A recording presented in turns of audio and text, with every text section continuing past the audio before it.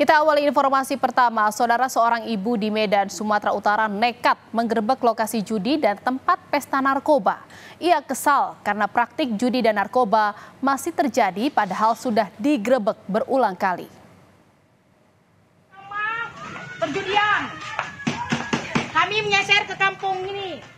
Di sini dekat kantor Koramel 100 meter. Ibu ini dengan lantang masuk dan menunjukkan lapak judi dan narkoba di kawasan Medan Sunggal. Ia juga tak takut memperlihatkan aktivitas orang-orang yang ada di sana. Ada apa ini? Pak, salah satu tempat perjudian yang selalu diadakan Ia juga memperlihatkan tempat penyimpanan mesin judi di sebuah bangunan permanen yang tidak jauh dari lapak pertama. Kami menyeser ke kampung ini. Di sini dekat kantor Koramel 100 meter.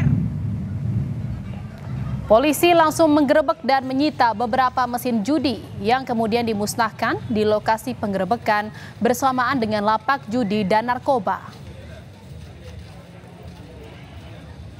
Menurut polisi, saudara dalam waktu setahun terakhir, lokasi ini sudah 30 kali digerebek.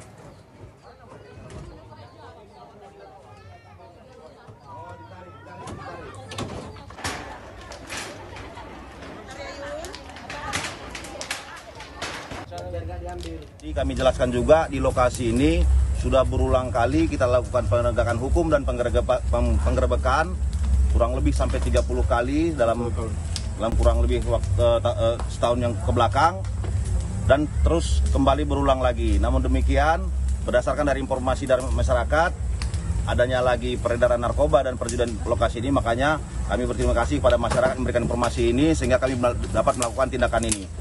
Dan hasil penggerebekan ini dapat kami amankan dua orang yang masih akan kita dalami uh, perannya apakah sebagai bandar ataukah sebagai pemakai saja. Dan juga ada